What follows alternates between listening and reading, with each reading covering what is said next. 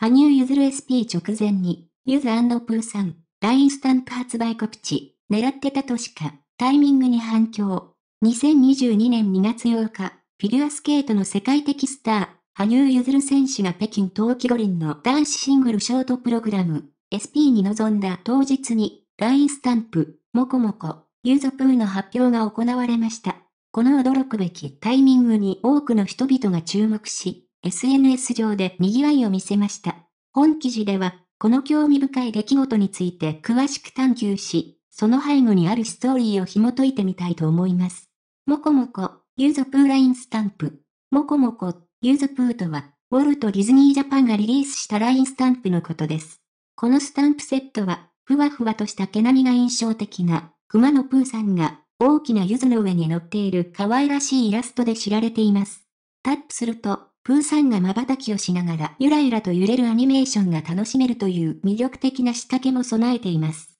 さらに、このスタンプセットには、プーさんやピグレットが柚子などのフルーツと一緒に描かれた24種類の動くスタンプが含まれています。販売ページには、柚子やレモン、ライムなどシトラスフルーツをモチーフにした爽やかなデザインです。との説明が掲載されており、その見た目の可愛らしさから多くのユーザーに支持されました。羽生結弦と熊野プーさんの特別なつながり。この LINE スタンプが特に注目された背後には、羽生結弦選手と熊野プーさんとの特別なつながりが存在します。羽生選手は、プーさんが大のお気に入りのキャラクターであり、試合前後にもプーさんをモチーフにしたティッシュボックスカバー、ユーザプーを愛用していることが広く知られています。このことは、彼のファンやスケート界の注目を集めていました。狙っていたのか？タイミングの良さに驚き、驚きのタイミングに、多くのユーザーが疑問を抱きました。ディズニーゲームの公式ツイッターアカウントが、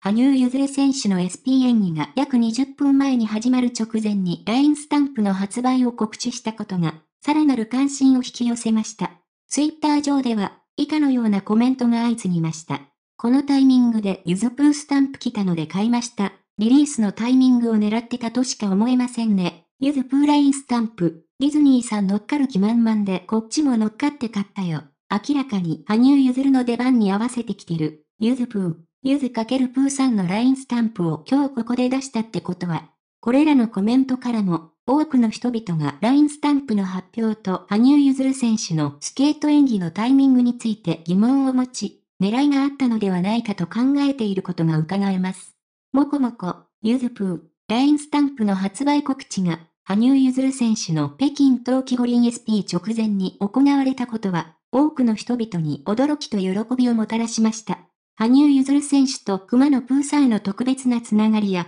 その可愛らしいデザインが、ファンや SNS ユーザーにとって特別な瞬間を生み出しました。一方で、発売タイミングがハブ選手の出番に合わせているように見えることから、狙いがあったのではないかという疑念も一部で広がっています。ディズニーゲームの公式ツイッターアカウントが、スケート演技開始直前に発売を告知したことは、この疑念を強めました。結局のところ、この事象は羽生結弦選手と熊野プーさんに対する愛とサポートを示すものであり、どのような経緯であれ、多くの人々に喜びと楽しみを提供しました。